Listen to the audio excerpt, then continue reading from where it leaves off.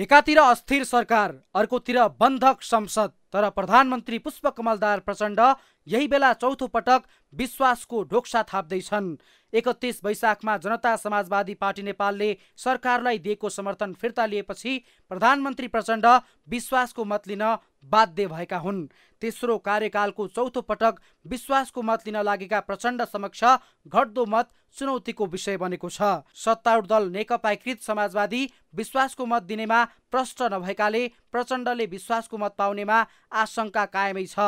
यो पार्टीले आन्तरिक बैठकमा समेत विपक्षी दलले उठाएको मुद्दालाई समर्थन गर्दै त्यसको पक्षमा देखिएपछि प्रधानमन्त्री प्रचण्डको पद नै धरापमा पर्ने स्थिति देखा परेको हो।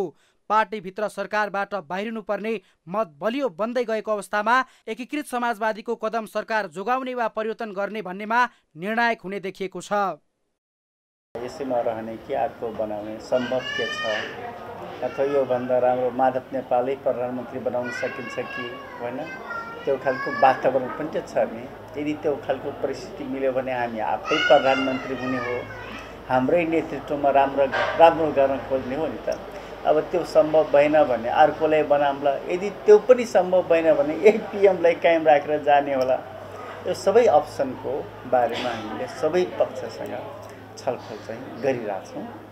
पहिलो पटक गत पुस छब्बिसमा उनले संसदको झण्डै सन्तानब्बे प्रतिशत मत प्राप्त गरेका थिए। छ चैतमा दोस्रो पटक संसदको सामना गर्दा त्यो विश्वास घटेर त्रिसठी प्रतिशतमा झरेको थियो भने गत फागुन तिसमा प्रधानमन्त्रीप्रतिको संसदको विश्वास सन्ताउन्न प्रतिशतमा झरेको छ। अब सोमबार लिने विश्वासको मत थप घट्ने निश्चित छ। बाह्र सांसद रहेको जनता समाजवादी पार्टी नेपाल फुटेको छ।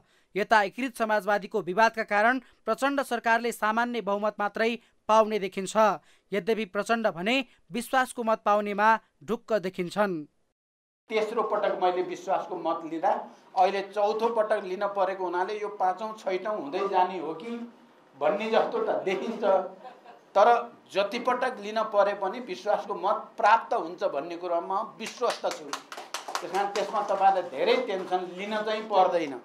कहिले अलि बढ्छ कहिले अलि घट्छ। घटबढ त भइरहेको छ तर विश्वासको मत प्राप्त हुन्छ। चुनावी गठबन्धन तोडेर माओवादी केन्द्रका अध्यक्ष प्रचण्ड दस पुस दुई हजार उनासीमा एमाले सहितका दलको समर्थनमा प्रधानमन्त्री बनेका थिए तर छब्बिस पुसमा काङ्ग्रेस सहित दस दलले उनलाई विश्वासको मत दिएका थिए। दुई सय पचहत्तर सदस्यीय प्रतिनिधि सभाका दुई सय अडसट्ठी सांसदले प्रधानमन्त्री प्रचण्डलाई त्यसबेला विश्वासको मत दिएका थिए। एमाले सरकारबाट बाहिरिएपछि चैत छमा विश्वासको मत लिँदा प्रचण्डले एक सय बहत्तर मत प्राप्त गरेका थिए। एक्काइस फागुन दुई हजार अस्सीमा एमाले नेतृत्वको गठबन्धनमा फर्केर विश्वासको मत लिँदा प्रचण्डप्रति संसदको समर्थन अझै खस्किएको छ। फागुन एक्काइस गते संसद बैठकमा उपस्थित दुई सय अडसट्ठी सांसद मध्ये प्रधानमन्त्रीको विश्वासको मत प्रस्तावको पक्षमा एक सय सन्ताउन्न र विपक्षमा एक सय दस मत परेको थियो। यो पटक विपक्षमा अझै मत बढ्ने देखिन्छ किनकि प्रमुख प्रतिपक्षी दल नेपाली काङ्ग्रेस सहितका अन्य विपक्षी दलहरू बीच मोर्चाबन्दी सुरु भएको छ। यी तथ्यहरूले प्रधानमन्त्री प्रचण्डको विपक्षमा संसदमा मत बढ्दै गएको स्पष्ट देखिन्छ।